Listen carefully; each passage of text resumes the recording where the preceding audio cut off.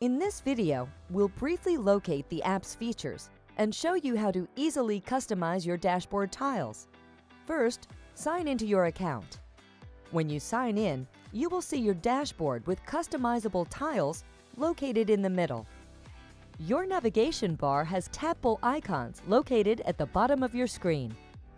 Your options include account information, tracking bill payments, transferring your money, and sending check deposits.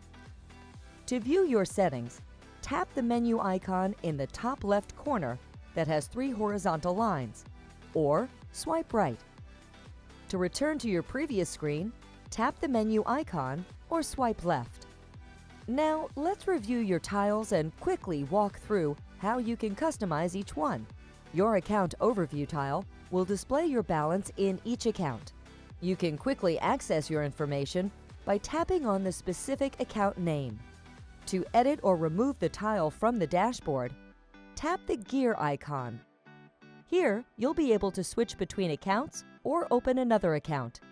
Tap Save to continue.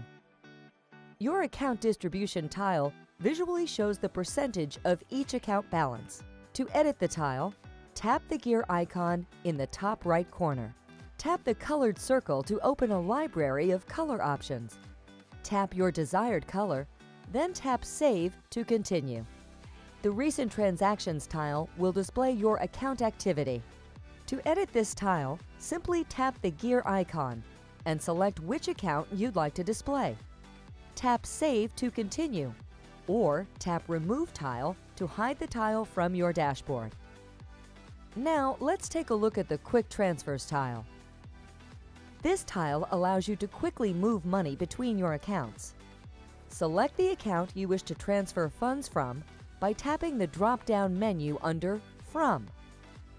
Next, select the account you wish to transfer funds to by tapping the drop-down menu underneath To.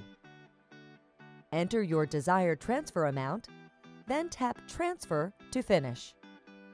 Now let's add a new tile to your dashboard scroll to the bottom of your dashboard and tap Add Tile or tap the plus tile button located in the top right corner of your screen.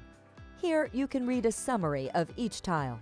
Once you've selected a new tile, tap the Add button to add this tile to your dashboard. To organize your tiles, hold your finger on your screen for about a second until you can slide the tile to your desired location.